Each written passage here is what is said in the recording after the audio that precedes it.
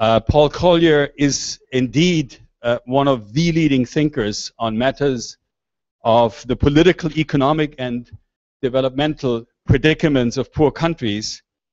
And he is a professor of economics and public policy at the Blavatnik School of Government, as well as director of the Center for the Study of African Economies, both at Oxford University. And as many of you know, he, of course, also advises uh, many, many development agencies, the World Bank and governments. Um, we talked a little bit earlier. He, he literally stepped off a plane uh, uh, from China, where he was with an official delegation uh, discussing the implications of the most recent decisions in the Central Committee on, on as, as I'm sure you're all aware of, on how they changed their, their next five-year plan. Um, and we are, of course, even more delighted to have Paul Collier, a visiting professor at the School of Public Policy here at CEU, where he will to teach um, as of next academic year. Uh, his last visit, we just talked about that, uh, to the School of Public Policy was par as part of our executive education programs that focused on the natural resource course, and he will come again um, teaching in this executive education course. I believe it is in next March.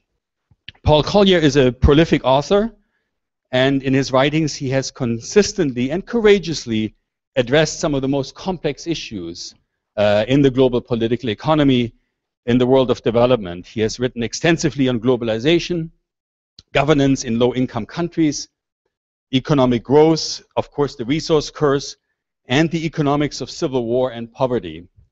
And his most recent book is no exception to that. Um, it was just published about a month ago. Exodus, as the title is, takes on one of the most complex and controversial issues of public policy in the 21st century, namely immigration and multiculturalism in the 21st century. And as some of you know, this book is inspired by a personal life story. And the book argues that when it comes to migration, policymakers have been asking the wrong questions up to now.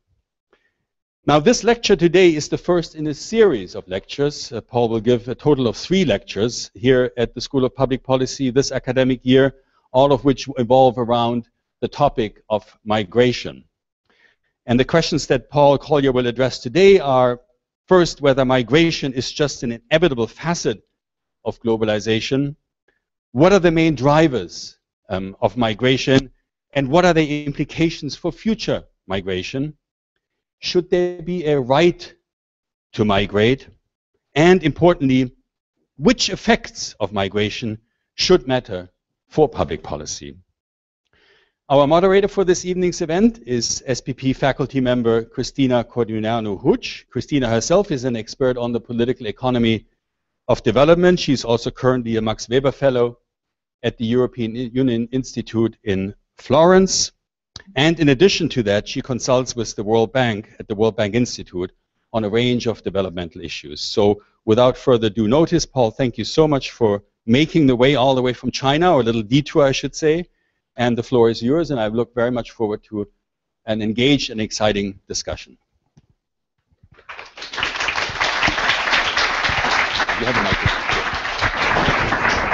Well, thanks very much uh, for inviting me. It's nice to be back.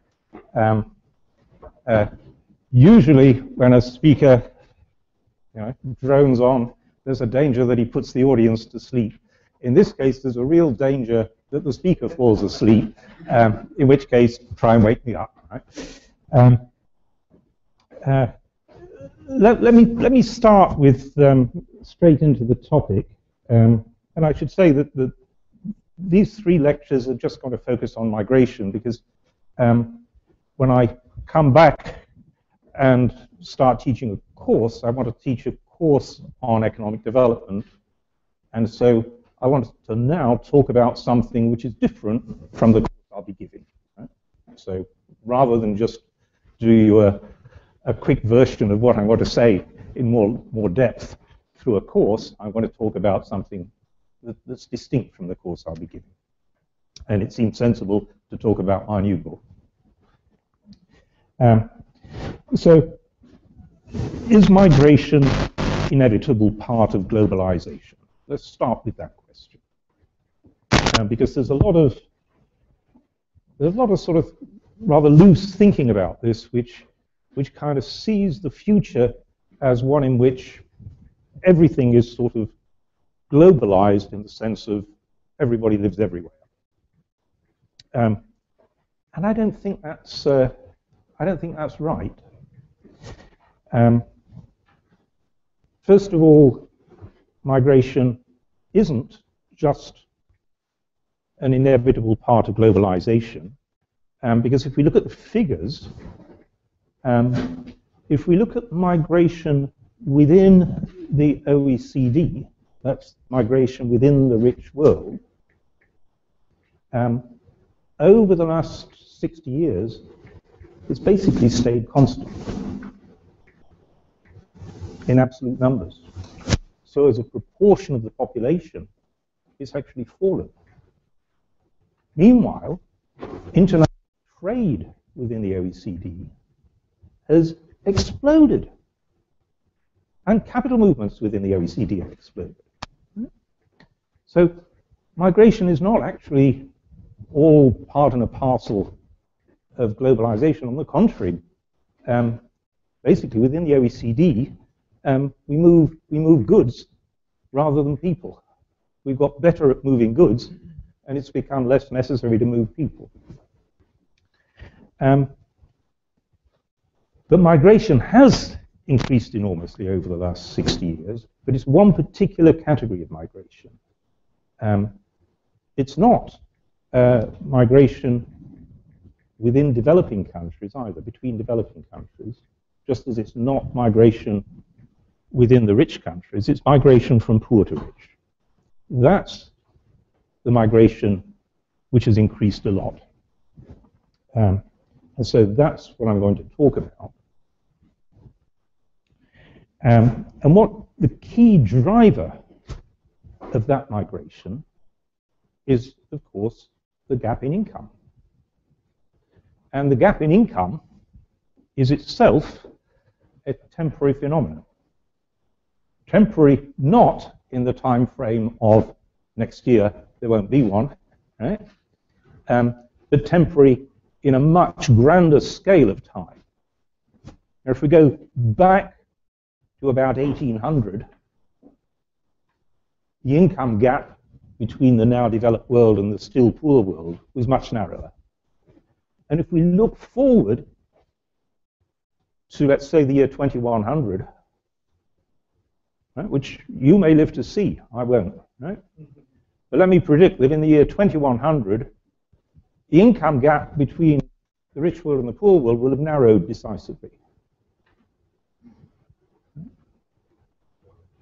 By the year 2200, it'll gone. I've just come back from China, and I tell you, um, I'll tell you two things. One is I saw the future, um, uh, and the other, um, going around Beijing, I saw fewer poor people than going around Budapest. Um, that's not to say if I, you know, if you range around in China, you'll find more poor people than you will in Hungary, of course. But, but the, the eastern part of China is now just, just already spectacularly successful, catching up with the developed world at, a, at an amazing rate. So if we look at the world in 2100, um, that income gap will have gone or be going, um, and the big driver of migration will be gone. And so if we look at Ghana in 2100, um, Ghana in 2100 won't be people by a, just a, a random assortment of the world's population. It'll be people by Ghanaians. Yeah? It'll still be recognizably Ghanaian, and so on and so forth. So we are in a, a, a temporary phase, but it's a, it's a temporary phase that's going to last for, for decades, not just a few years. But it's not a phase that's a permanent feature of globalization. In 2100, trade between countries will be massively greater than now. The migration will actually be less. Um, so if the income gap is fundamentally what's driving migration, um, what is determining the income gap? Because um, any, any analysis of migration um, must consider something about why there's that income gap. So I'm going to give you a very quick account of, of why I think there's an income gap. Uh, and in part, that's a history of, of the evolution of development economics. Um, when I was your age, I sat in a classroom like this, and the lecturer told me why rich countries were rich and poor countries were poor. Right? And what the lecturer said was, it's because the rich countries have a lot of capital and the poor countries don't. Right? You laugh, quite rightly, right? Um, what's just come into my head is, uh, is the early Greek thinking about what supported the world, the earth. And, uh, and the theory was that the, the earth rests on a turtle. It wasn't a terribly good theory of the world, but that was it. The, the earth rests on a turtle. And then after about 50 years, some smart Greek, they were awfully smart, those Greeks, some smart Greek thought to ask, and what does the turtle rest on? The answer turned out to be it's turtled all the way down, right? But, um, but, but we have the same evolution of economic thinking that after a while, some smart student in the audience, as it were, not me, thought to pose the question to the lecturer, um, why have the rich countries got all the capital? After all, capital can move. Right? And so it couldn't, the, the, the, final answer to why the rich countries rich couldn't be they've got a lot of capital. Something it had to explain why they got a lot of capital and the poor countries didn't. In other words, capital was endogenous in the, the language of, of social science. Um, so that goes to the 1980s, and then in the 1980s, the answer was, oh, um, the rich countries are rich because they've got better economic policies than the poor countries. So that lasted until around the millennium. And then by the millennium, some smart kid in the audience, as it were, thought to ask, so why have they got better policies? Right? What does that turtle rest on? Right? Um, and the current answer, so we're now getting right up to date, 2013, the most fashionable answer, why have the, the rich countries got better policies? Because they've got better institutions. Right? That's the Acemoglu and Robinson account. Right? So that's where we got to. That's the turtle that we've now arrived at. Right? And as, it, as far as it goes, I think that's a, a sensible answer. Uh, I don't think it goes far enough. Right? I think it's part of the answer. Um, uh, of course, th th there's another total, why do, why, do, why do they have good institutions? And the answer that Acemoglu and Robinson give is about the structure of political power. Yeah? Perfectly, perfectly sensible answer to that question. That the structure of institutions reflects the structure of political power. Um, and I think that's indeed part of the explanation of why rich countries are rich. Um, incidentally, we should always realize that rich countries didn't used to be rich. We're looking at a really relatively recent phenomenon. There have been, there have been societies for thousands of years, and they've all been poor. And then about 200 years ago, one, Britain, managed to break out of that, the Industrial Revolution. Um, and that spread to a few other countries. But we, I, it's important that you keep that in the back of your mind because um, that was a phenomenally rare event.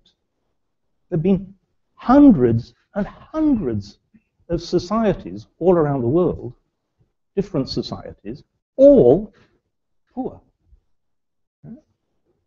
and then one breaks out once, and it's so we're looking at we're looking at a very rare event.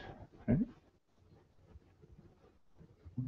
I mean, the, the Acemoglu-Robinson account is essentially that, that there was a political a shift in political power in Britain in 1688, which then basically moved power from uh, from the king to parliament and started a process uh, which wasn't intended to produce income growth, but did.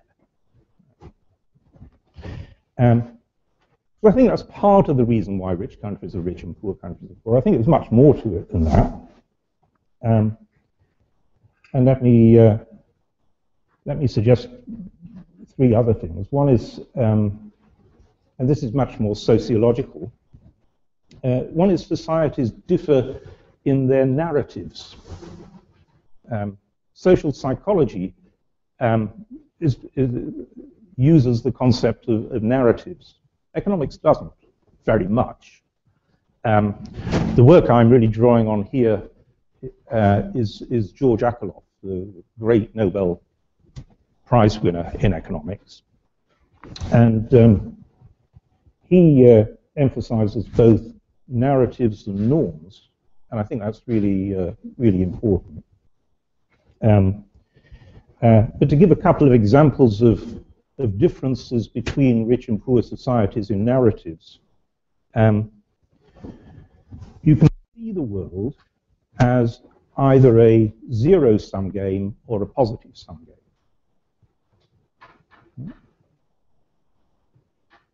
You can't see it as both at the same time. But if you believe the world is basically a zero-sum game, the only way I go up is somebody else goes down, then uh, it's fundamentally not conducive to cooperation. Right? If the world's a zero-sum game, you don't cooperate. That's incidentally the world of academics. Right? Academics is sort of a zero-sum game in reputation, um, which is why academics is so nasty. You know, you, you, you uh, Uwe Kitzinger had this, this wonderful description of, of, of academic disputes. He said, um, academic, academic disputes are so vicious because the stakes are so incredibly small. which, which, which, so this is a zero-sum game in reputation, basically. Um, if instead you see the world as a positive-sum game, then, then that's much more conducive to saying, well, let's cooperate. And so that's just a difference in, in the narratives that you internalize, whether you see your society as basically being full of opportunities for positive sum games or full of opportunities for zero sum games. Um, uh, another narrative would be the difference between fatalism and aspiration. We know that there's a, a big psychological bias uh, in behavior towards loss aversion. People don't, people want to avoid situations in which they suffer losses. Um, and so if you believe that the probability of loss is quite high, then you'll have a sort of fatalistic attitude on life, and so you won't try. Whereas if you uh, aspirational, if you believe there's a good chance of success, then, then you'll be much more inclined to take risks, to try. Right? So these are big differences between societies in, in narratives, and they, and they affect uh, behavior. Another example of, of differences is, uh, is in norms. There's a lot of work measuring the norm of trust huge differences between societies in whether people trust each other. Uh, high trust societies clearly have much lower costs of transactions than low trust societies. And so trust maps into basically the costs of, of doing business. Uh, final difference is, is, in, um, is in organizations. And here I'm going to draw on, uh, on another piece of Akerlof work, his little book on identity economics.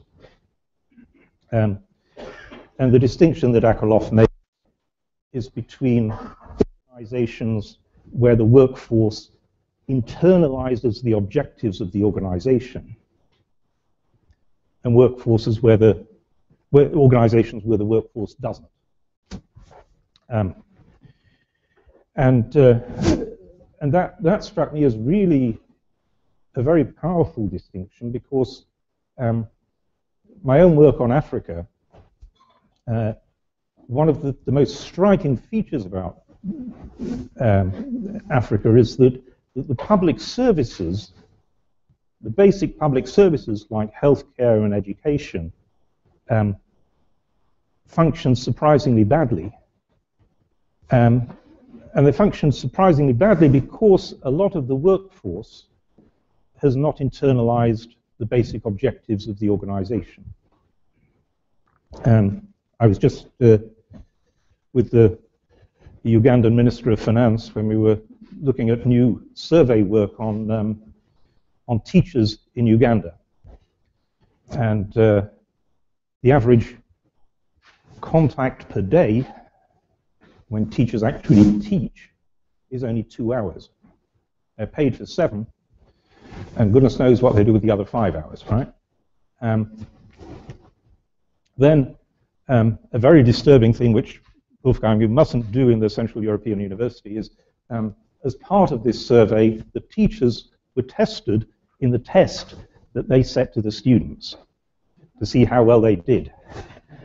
Um, and uh, uh, basically, on you know, on the maths test, only 4% of the teachers could do well on the maths test that the students. So, in other words, the teachers could not possibly have internalized the idea, I'm a good teacher, and my mission is to teach these children how to do these subjects. You know? Um, so that's a failure of internalization. Um, and it's clearly, uh, that's clearly not a universal phenomenon that um, uh, in the high-income societies, the most striking feature of organizations is how good organizations are at getting workforces to internalize even really rather uh, crappy objectives. Um, when I started thinking about this, a memory came, came into my mind of one of my students from a long time ago who was, uh, who was a, a passionate Marxist working class boy from the north of England. And, uh, was a, you know, I'd taken him as a student at Oxford, and uh, when he finished at Oxford, what he really wanted to go and do was go and burn down capitalism. Um, but he couldn't, he couldn't get a job to do that. Um, and, uh, and he owed money, so he, he got it. Instead, he got a job with a, uh, with, a, with, a, with a very good company, Unilever, that what Unilever was doing was selling soap powder.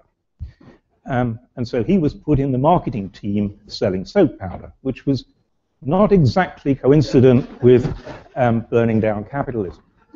Um, anyway, I, I, I, I, was myself a working class lad from the north of England, and so I, I sort of sympathized with this guy. So a couple of years later, he came to stay with, with me for the weekend.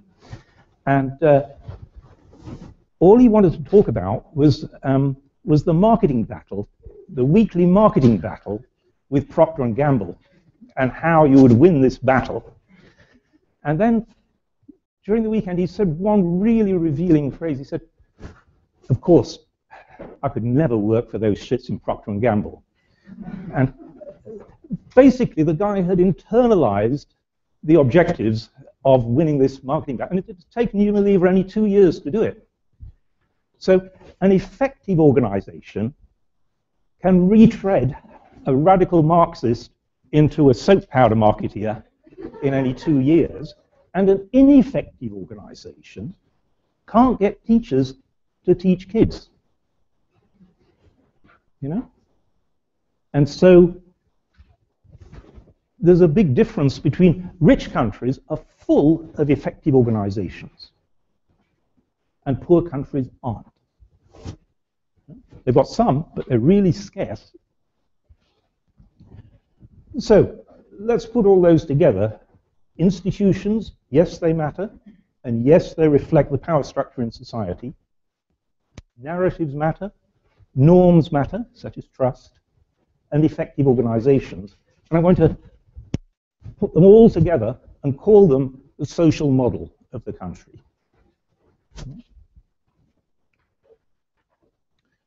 And so, why are poor countries poor and rich countries rich? Because they've got different social models. In the end, that's the that's the turtle at the bottom of the pile. Um, now, if you accept that, you don't have to, but if you do accept that, it's got some really radical implications.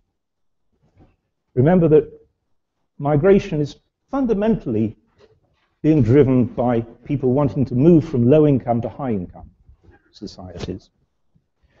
And so, in effect, migrants from low income countries are escaping dysfunctional social models. You might not realize it, but that's in effect what they're doing. They're moving from dysfunctional social models to societies with more functional social models. Now, my, um, my working life has basically been about trying to get um, poor countries to catch up with rich ones. And that seems to me to be the, the vital challenge of the 21st century. Um, the income gap is still horrifically wide, and the struggle in, in your lifetimes, which hopefully will be a successful struggle, I think it will be, will be closing that gap, yeah? catching up. Um, so, where does migration fit in that process of catching up? Well, fundamentally, if my diagnosis of why a poor country is poor is right, the process of catch up is fundamentally about poor countries changing their social models. That's, the, in the end, the catch up process. And so, in the end, when we look at migration, we should bear that in mind. We should be thinking so, is it, what's it doing to the gap in social models? Um, we can move people. People can move. But in the end, it's social models that have got to move, or social models that have got to spread. Let me turn from the income gap, because that's, that's one big driver of migration but there are actually going to be three building blocks in migration. So that's one. The second is that the act of migration from a poor country to a rich one is an investment. In the sense that it is costly to do. It's costly to do.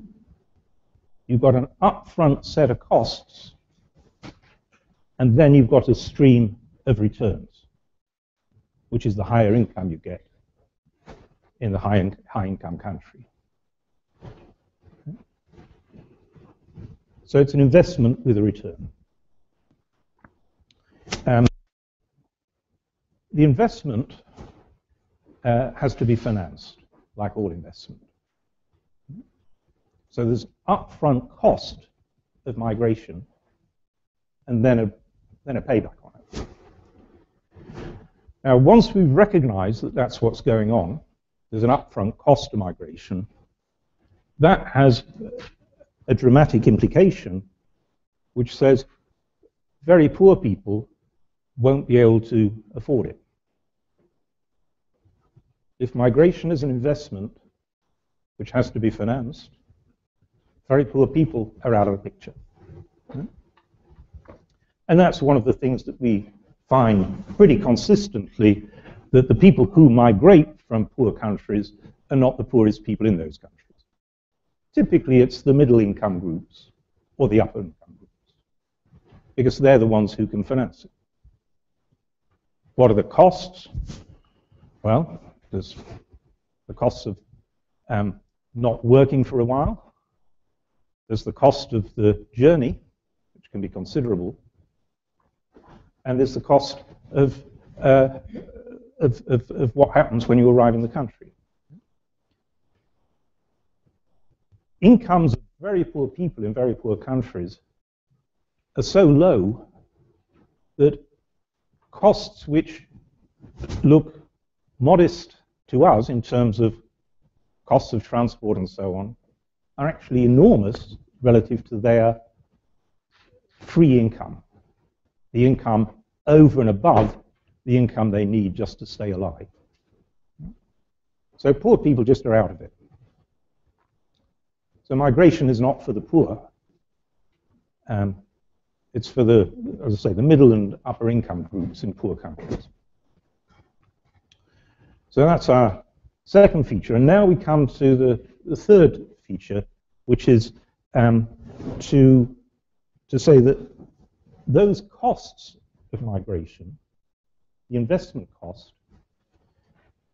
themselves depend upon upon something which turns out to be the most important driver of migration.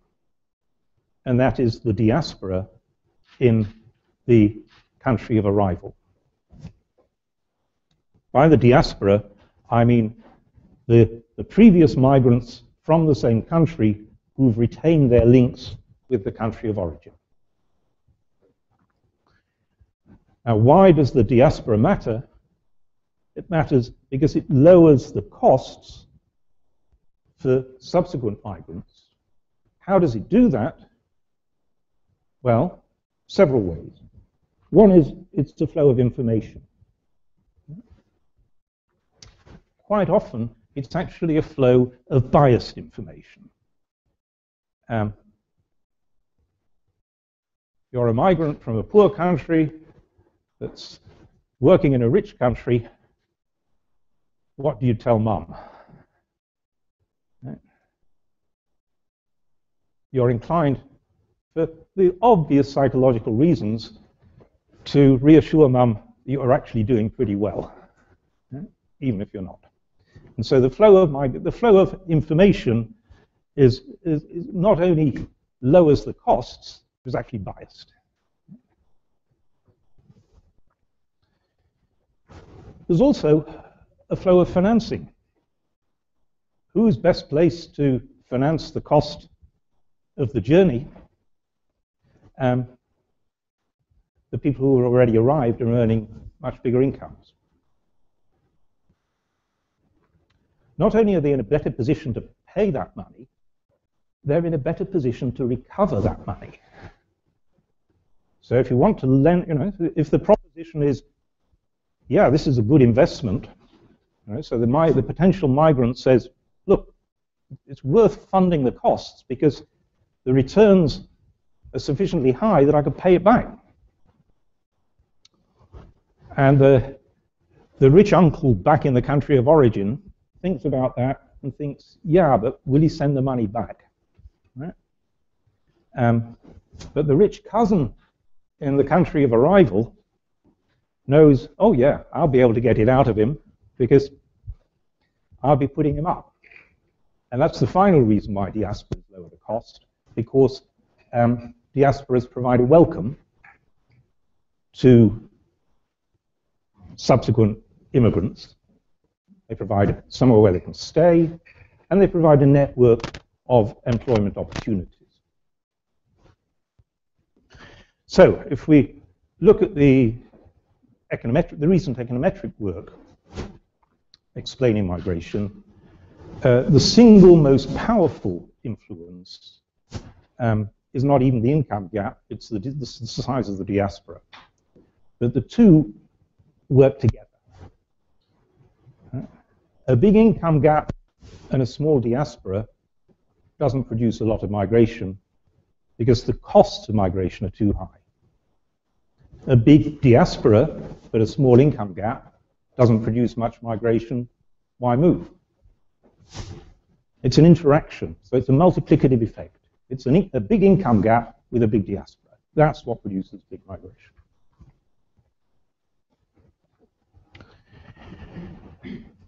So we've got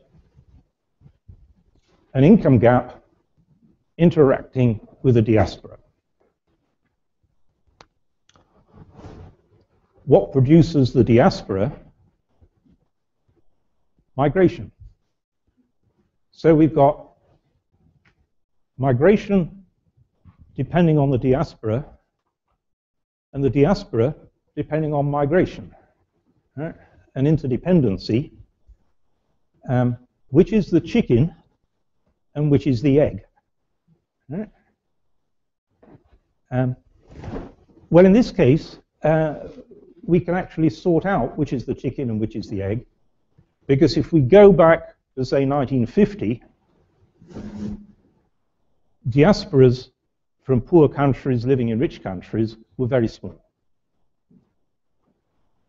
Because for a variety of reasons, borders have been closed for many years. Basically, between 1914 and about 1950, borders were closed for a variety of reasons. So we start the modern process of migration from poor countries to rich ones in about 1950 with very small diasporas and a wide income gap. So a wide income gap, a very small diasporas, would produce pretty moderate levels of migration, not very big migration. Right? And that migration then increases the size of the diaspora.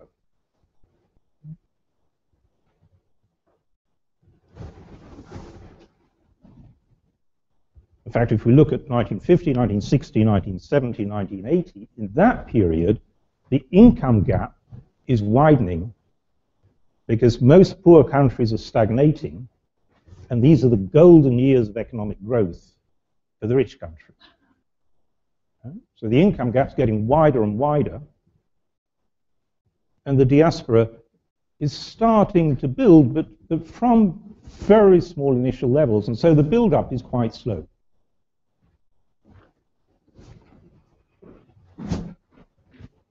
From about 1980, the poor countries start to accelerate their growth. First, East Asia, in the 1980s, then South Asia, in the 1990s, and then Latin America and Africa in the last decade.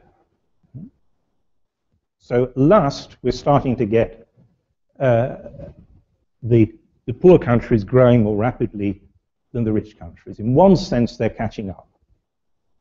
But by then, the income gap is so wide that even though the poor countries grow more rapidly than the rich ones, the absolute gap in income still gets wider. Um, that's even true for the moment, I think. I mean, let, us take China, which at the moment is growing about 7%, and its, and its income level is about $6,000, so it's no longer a poor country. Um, so 7% growth on an income of $6,000, your income's going up by about $400 a year. America, what should we say, $30,000 growth of 2% a year. So China growing at 7%, America at 2 What's happening to the absolute gap in income? China's income going up at $400, 7% of 6,000. America, 2% of 30,000, going up at $600. So in absolute terms, the income gap between China and America is still getting wider. Income gap between Africa and the, and, and, and the rich world is getting wider, even though Africa is now growing much faster than the rich world. So growth rates don't translate until narrow, into narrowing of income gaps. for a long time. Eventually, compound growth rates work their magic. But it takes a long time. China's just getting to that point, where over the next 10 years, the, the absolute income gap will be closed. Why does the absolute income gap matter? Well, think back to that investment model. You're spending, you know, maybe a couple of thousand dollars to get from a low-income country to a rich one. So there's an absolute investment, and there's an absolute return on it, which is the income stream in the rich world minus a much lower income stream in the poor world. So the return on migration can be going up, even though the poor country is growing much faster than the rich one. So that's one reason why, even after 1980, when the poor world started to catch up, the income gap incentive for migration was increasing the incentive to migrate. Not only was the income gap increasing the incentive to migrate, but as income levels rose in poor countries, think what that does to migration, given what I've told you about it. Can anybody, anybody want to relieve me of the effort of thinking for a moment since I've just got off a plane from China? Um, as income levels rise in poor countries, what does that do to emigration from them? Not the obvious answer. Right? The obvious answer would be my emigration slows down. Why is that wrong? Very good. Very good. Okay. Because people can better afford to, to make the investment in the cost of migration. Right?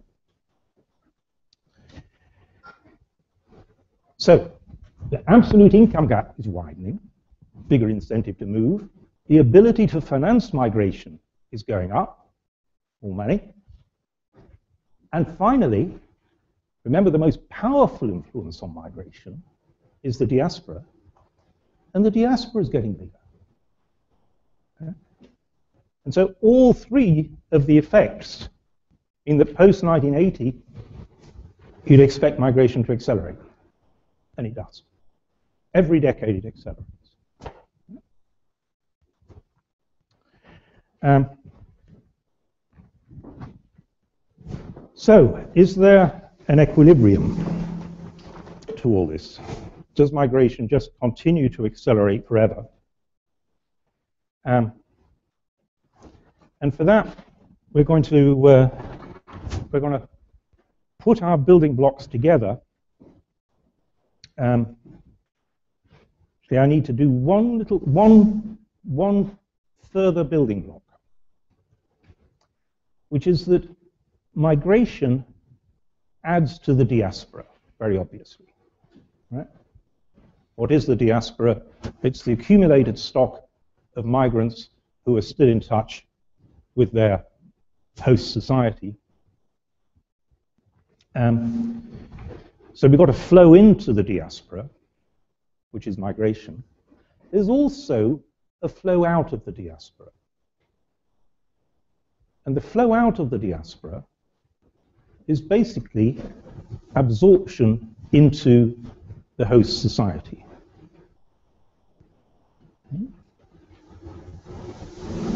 My grandfather an immigrant from a dirt poor village to the richest city in Europe. So it was, a, it was a dirt poor village in Germany, and he went to Bradford, which at the time was the richest city in Europe. Um, and uh, and my, my father, my father's generation sort of kept in touch a bit with the, with the village. And I, my father changed his name, which is why I'm called Collier and not Hellenschmidt. Um, and I've completely lost touch. I am not part of the German diaspora in Britain in the sense that I'm totally useless for anybody from Ernsbach who wanted to come to Bradford. Right? So that is absorption out of the diaspora into the host society. So one, one concept of equilibrium is when does migration stop accelerating? And the simplest answer to that is when the diaspora stops growing. And the diaspora stops growing when the flow in to the diaspora from migration equals the flow out from the diaspora into the mainstream of the society. Right? People like me. Um, so our final building block is what determines that rate of flow out. Um, and the, there are many things that determine the rate of flow out, uh, but the simplest one is just the size of the diaspora. When my grandfather arrived in Bradford, um, his sense of youthful adventure had got him out of this village as far as Bradford, right? At that time, incidentally, if you got any money at all, you didn't go to Bradford, you went to America. Right? Um, but if you, so if you've got enough money, you've got to cross the Atlantic. If you've no money at all, you've got to cross the channel. Right? So he got across the channel. Right? Um, but what happened when he got to Bradford was um, youth, the youthful adventure reached its limit, and he went straight in Bradford to a little district of Bradford where there were so many Germans, the district was called Little Germany. Um, and so my grandfather, he lived to be a very old man. Um, he never lost his German accent um, because he grew. He, he, was living surrounded by other Germans, basically. Um, there's a there's a famous anthropological number called the Dunbar constant, um, which is that anthropologists worked out that basically across the world, um, the number of people that you can actually genuinely interact with is, is a constant at about 150. You know, you can count, I've got 832 friends on Facebook or whatever, but the actual serious interaction with people is about 150. Um, and so the bigger the diaspora, um, the higher the proportion of interactions that are with other members of the diaspora uh, rather than with the indigenous host population. And so, other things equal, the less rapidly you're going to be absorbed into the mainstream society. So we're now going to put those three building blocks together. We've got um, migration um, being a function of the diaspora, uh, the diaspora being a function of migration, and the um, absorption of the diaspora, the rate of absorption of the diaspora being a function of the size of the diaspora. And if you're an intuitive genius, you can see where the equilibrium is in that without the need for a model. But otherwise, a model helps. So here's a model. Very simple, and I, I, can show it in a picture, which economists like to call diagrams. Um, and uh, we'll put the, the rate of migration up here. So that's the rate of migration high rate of migration, no migration. Um, and we'll put the size of the diaspora along here.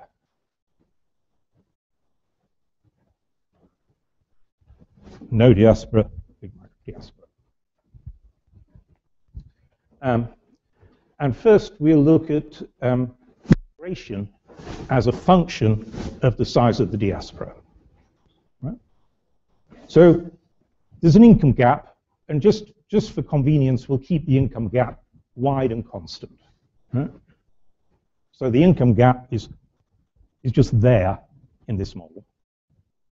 We could bring it in, but we need another dimension.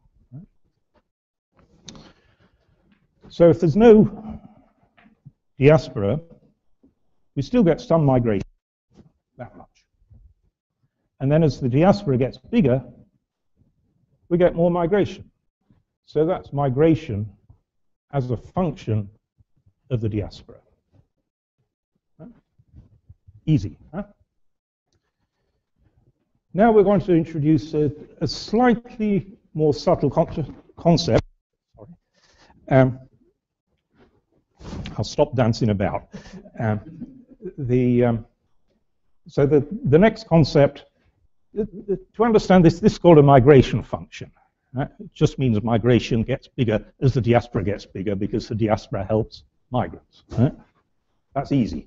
Uh, the next thing uh, is a little bit more subtle, we're going to look for all the, all the positions in this space uh, where the diaspora stays constant. And the diaspora stays constant because the flow into it from migration equals the flow out of it into absorption into, into the host society. Right? So one point where the diaspora stays constant is obviously if the diaspora is zero. Um,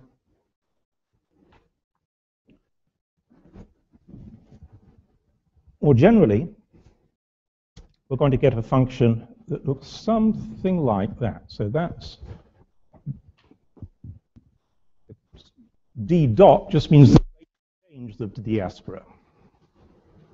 And we're looking for the rate of change equals zero. Um, how does this work? Well, all positions to the left of that schedule, say a position like here, we've got a lot of migration and only a very small diaspora. Right? That much migration and this much diaspora. So there's a big flow in. And because it's a very small diaspora, not much of a rate of absorption out of it, not, not much absorption out of it. And so, position like that, the diaspora is getting bigger.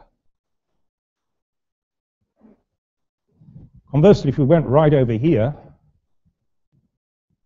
got the same amount of migration, but now we've got a huge diaspora, and the, the diaspora is leaking people. And it's leaking people faster than the rate of flow in and so the diaspora is shrinking. And this, whether the flow in and the flow out are the same, that's, that's, the, that's the position. Right? Why does it have this curve? This is the only bit where you actually need to really sort of put your thinking cap on. Um, the curve, the curvature just shows the rate of absorption of the diaspora into the host society. And the bigger the diaspora, the more people in the diaspora interact with other people in the diaspora relative to people outside the diaspora, the slower the rate of absorption. That's why it's a curvature. So one advantage of a model is you can then straight away see, ah, Here's the equilibrium. So if the society starts with no diaspora, but an income gap, then it basically starts here. You're always going to be on the migration function. And then the society will gradually march up that migration function, march along that migration function up to this point, and then the migration rate will just stay at that rate. So that's an equilibrium rate of migration. Now, I've drawn it like this. I could have drawn it a little differently. Fortuitously, we got multicolored pens, so let's take advantage of them. And um, suppose that um, we could do it either with a, let's do it with a bigger income gap. It will increase the income gap. And so even if there's no diaspora, because the income gap's bigger, we get more migration. Let's suppose with no, no diaspora, we get that much migration. Here we go. So here's our migration function, the function of the diaspora. The rate of change, the, the, the locus of where the diaspora stays constant isn't altered. So what now happens? Well, there isn't an equilibrium. Still march up that migration function.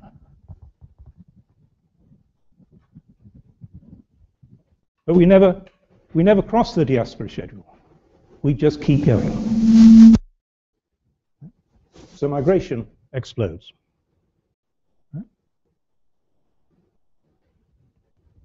So with narrow income gaps, we get to an equilibrium rate of migration.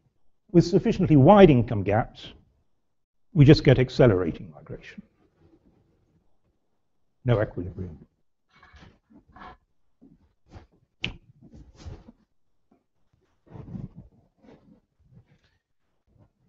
The, um, that's a rather dramatic prediction. Says big, big enough income gaps, migration will just accelerate.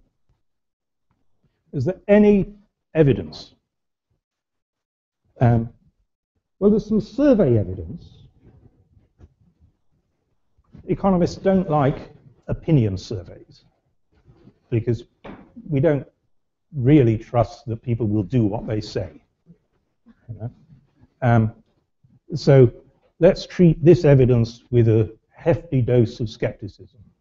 But people have actually asked people in poor countries um, would you like to migrate to a rich country if you could afford it and there were no immigration restrictions on it? And 40% uh, of the population says yes, which is quite a lot. As I say, economists, basically, we don't set much store by that because people say all sorts of things, and we prefer the concept of reveal preference. We prefer to see what people do. Um, so let's have a look at what people do. Well, here's a problem. We can't because people generally don't have unconstrained choices about migration. Because high-income countries all impose immigration controls. So I tried to find a case where there weren't immigration controls. Um, and the only one I could find, there may be others, but the one I could find um, was uh, Turkish Cyprus. I don't know if there are any Turkish Cypriots in the audience. Any? Um, I'll tell you why there aren't any Turkish Cypriots in the audience in a moment. um, so, um, in uh, the data on migration is terrible. Right? And for Turkish Cypriots, it's no exception. Right? Um, so let's do our best.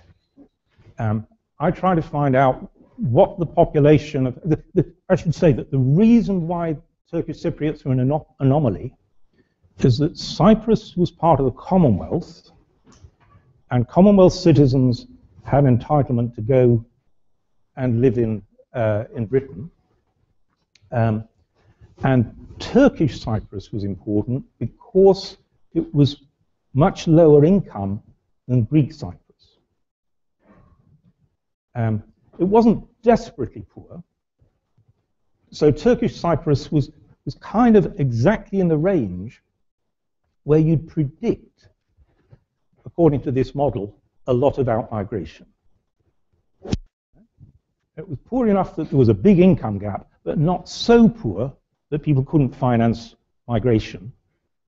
And the costs of migration were not that high because, because Cyprus is not that far from Britain. So, uh, so there's a, a sort of an anomalous situation in which the model says income gap wide enough, level of income high enough, that we would predict accelerating migration. Um, and it might be this case, it might just keep going. Um, so I looked to see what was the population of Turkish Cypriots in Britain um, as of about 1945.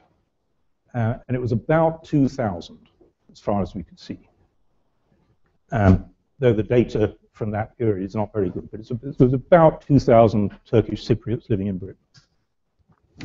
Um, the, the, the, population now of Turkish Cypriots in Britain, according to the, the British Home Office, uh, is 300,000.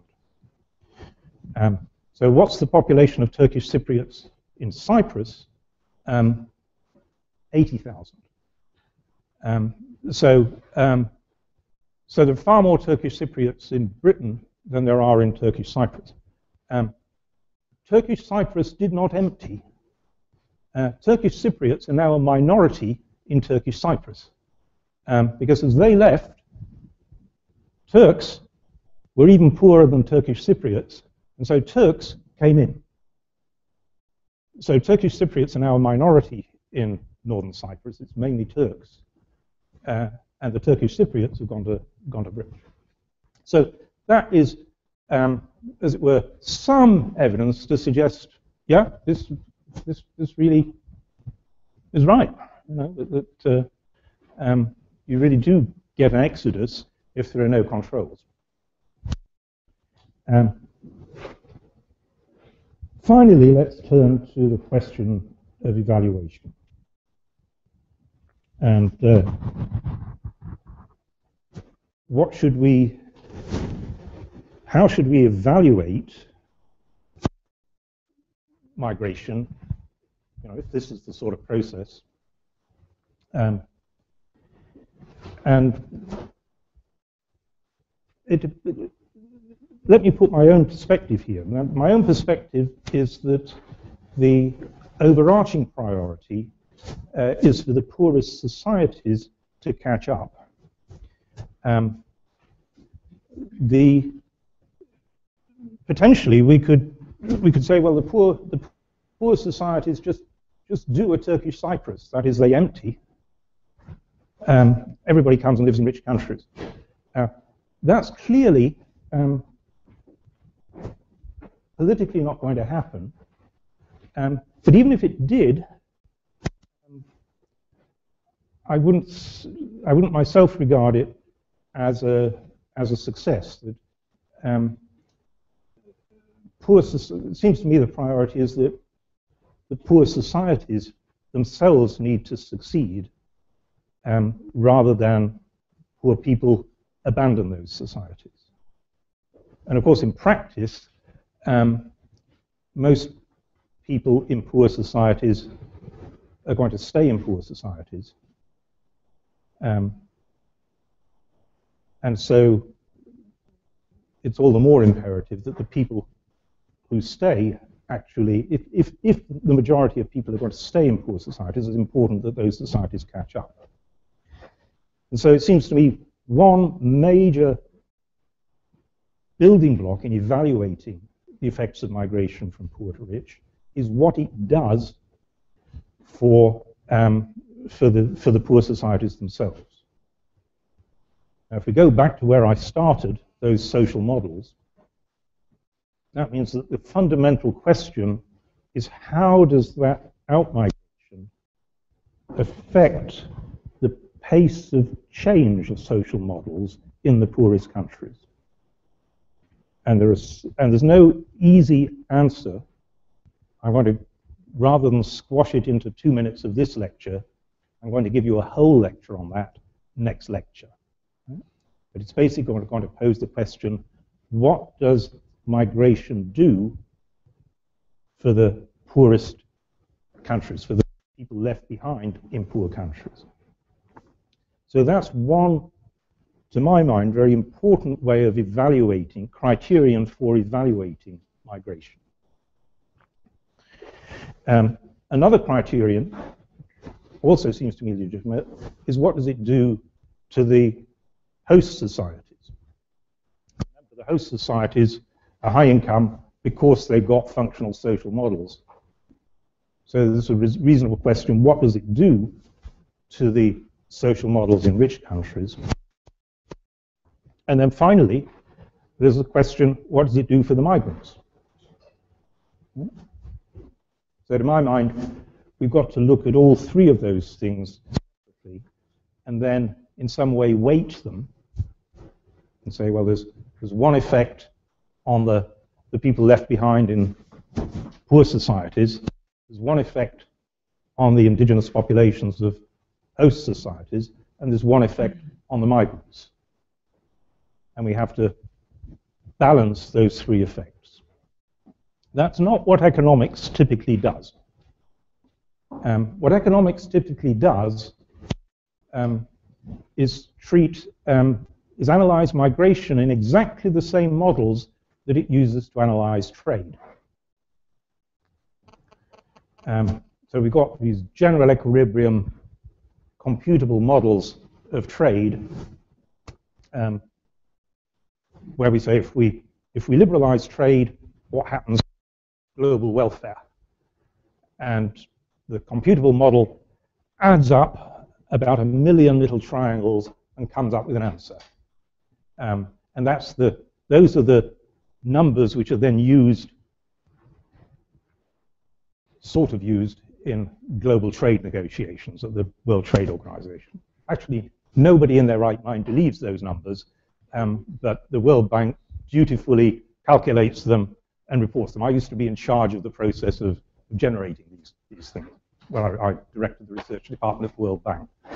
Um, the, uh, so you can use exactly the same model and say if we move some people from poor societies to rich ones, um, what happens? And then you get very clear answers out of the computable general equilibrium model. Um, because people produce more in rich countries than they do in poor countries. So the more people you move, uh, the, the, more the global income goes up. Um, and, uh, and then economics has this, this glorious concept of, uh, of Pareto efficiency, which is, which basically um, it's, it's, it's, it's, it's, it's saying as long as, as long as there's a global gain, um, so that the, the people who gain could compensate the people who lose, um, then that's good enough. Um, it isn't good enough um, because there's no mechanism by which the people who gain do compensate the people who lose. And so, to my mind, it's important to actually decompose and say, here are these three effects. The effects on the, the people left behind, the effects on the host country, and the effects on the migrants. and we have to look at all three in turn. We can't just rely on these computable models to come up with a global utilitarian answer and say that's the, that's the answer. But that's what economics does. So on that note, I'll stop, but we've got, I think, 15 minutes for questions. So over to you.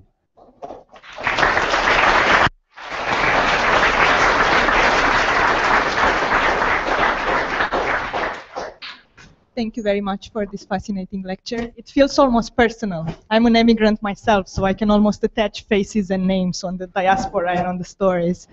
Um, and I think it resonates with a lot of people in a community in which there is no majority culture here at CEU. Uh, I will abuse my moderator position here to ask the first question. what do you think is the role of economic crisis in the developed countries for migration in general? Uh, yeah. So the, the, the, question was, was what is the role of economic crisis in the developed countries? in migration.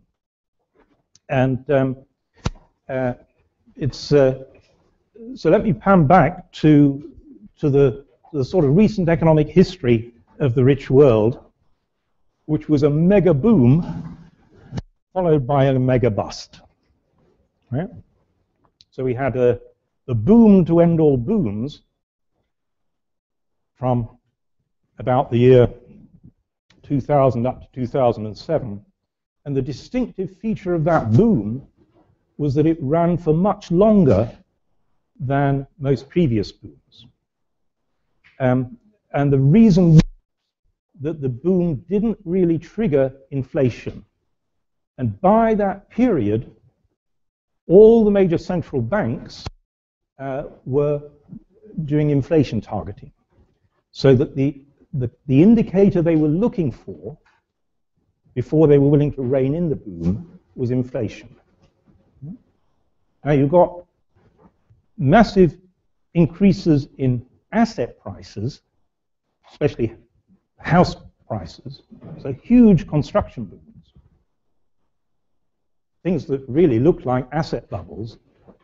But all the central banks, the, the mantra was, um, oh, that's nothing to do with us. You can't tell, a, never mind asset prices, they're off the map. We're just looking at the rate of price and consumer price inflation, and that's staying low. Yeah? And so that's why the booms ran much longer. And the, as a consequence, the actual structural imbalances in society, in economies, built up to much bigger proportions. And so the booms were allowed to run, in my view, for much too long.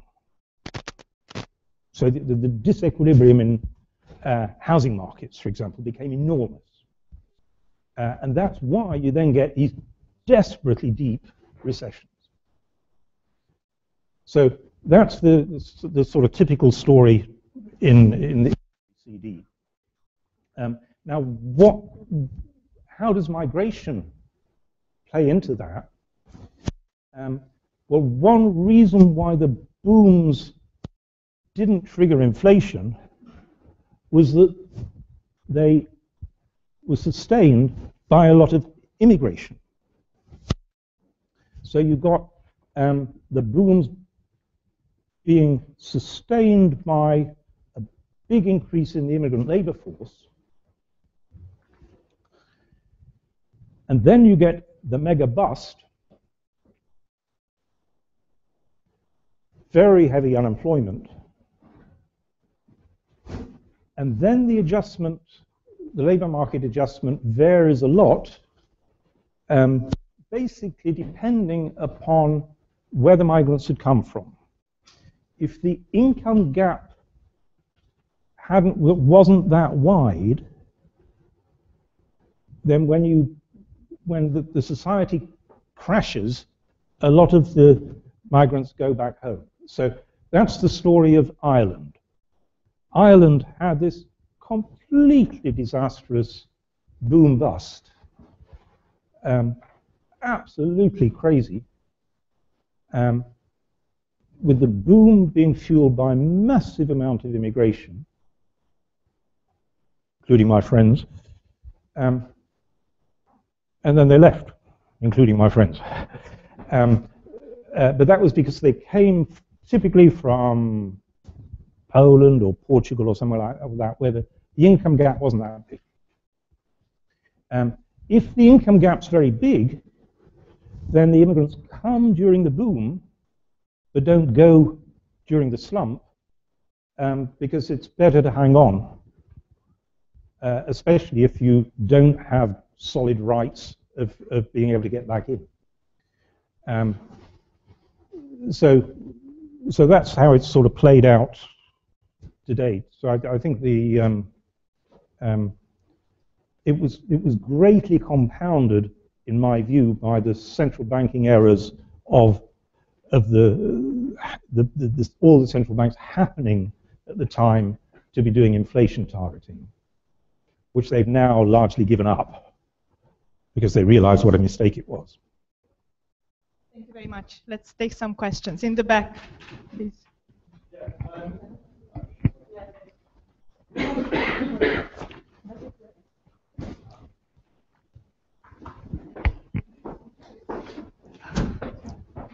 So I don't know.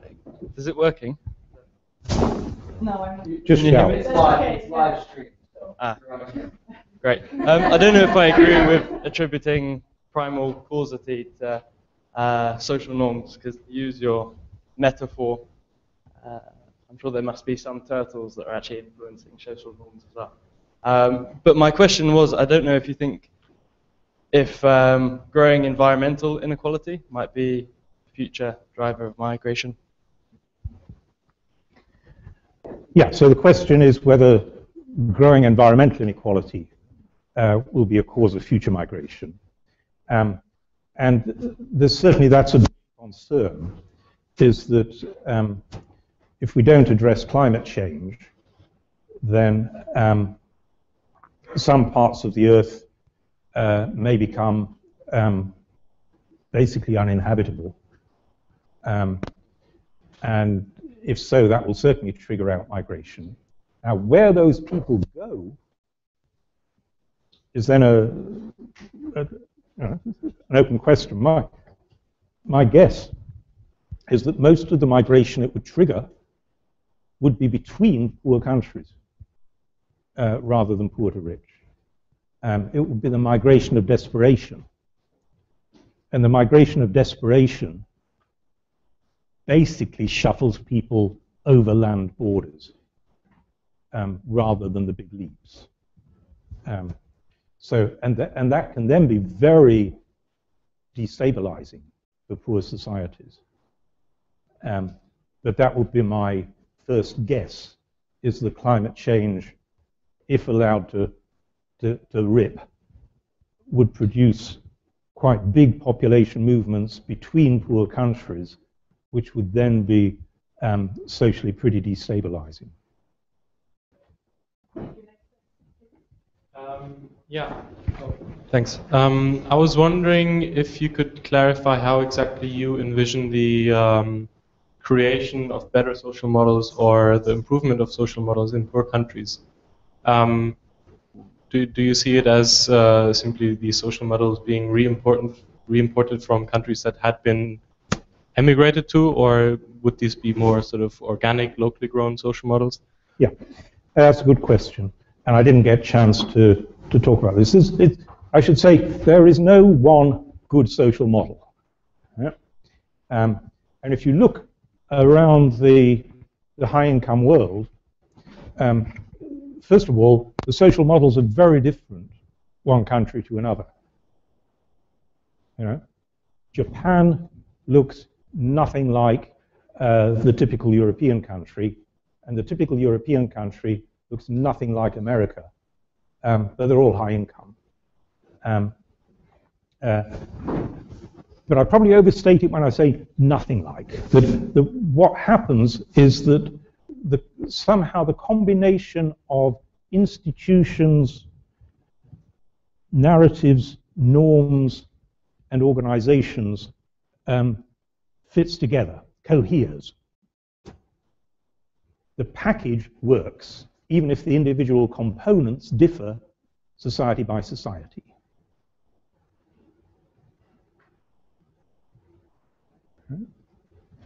Um, it's clearly an organic process within a society. So the attempts to transplant have invariably been disastrous. Um, so these are fundamentally organic evolutions in which societies struggle to change their institutions. And if, if the fundamental diagnosis of where do the institutions come from, they come from the power structures is right, then that's basically struggles over power.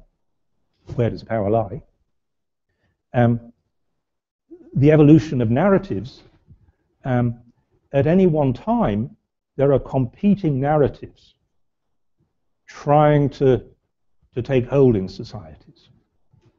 You know, think of Pakistan or Egypt now, competing narratives. Um, and there's not much that external actors can do there. I mean, these are the, the, the, these are the, the struggles um, Similarly with norms. Norms evolve, um, albeit slowly. Um, think how they have evolved in, in rich societies. There's, there's, a very good, very good book on the uh, evolution of norms of violence by the social psychologist Steven Pinker um, called The Better Angels of Our Nature, which came out a couple of years ago. And that is a, a global history of the norm of violence. And what he shows is that um, the rich world, over the last 200 years, has become massively less violent than it used to be, and massively less violent than other societies. So it's a complete historical anomaly, and he traces how that came about. Um, or if we think just within my lifetime, um, 50 years ago, um, if somebody in this room had taken out a cigarette, that would have been fine. But if somebody had said, I'm gay, we'd all have reacted in horror. Right? And now it's the other way around. Right? Um, and, um, and, and that was a very, a very gradual process over 50 years of sort of salami slicing changes in social norms. Um, so norms do change, but they're, but, but, they're, but they're internal to societies. You know, if if um, uh, if Martians had come and told us, you know, you've got to be nice to gay people and stop smoking, uh, we'd have, we'd have told the Martians go to hell, right? Um, quite rightly, right? and, and um, so you can't, you can't do this from outside, obviously. Um, you probably can do something with efficient, effective organizations, the, the internalization process, that it's, it's actually very hard to build effective organizations. And they're the things that you probably can actually transfer. That an effective organization can actually function internationally, can take its it, its, its process of internalizing norms and do that in a lot of different countries. So that's the bit that's probably uh, most transferable. I think we have time for one more question. Thank you for your speech. Can you hear me? Oh, okay. So, uh, um, yes. Oh, okay. So, um, I don't expect a straightforward question uh, response, actually. Um, should there be a right to migrate? What kind of right should that be? And can we even establish it uh, economic, in, in, economic terms? It's a normative question. Yeah. So. No, it's the right, it's the right question. Um, and you're quite right. I'm not going to answer it now. That's not because I want to duck the question. Uh, I want to build up the building blocks um, and at the end of the three lectures, you will answer that question yourself. Right? Um, because uh, I am not going to tell you what to think, but I am going to try and tell you how to think. Right?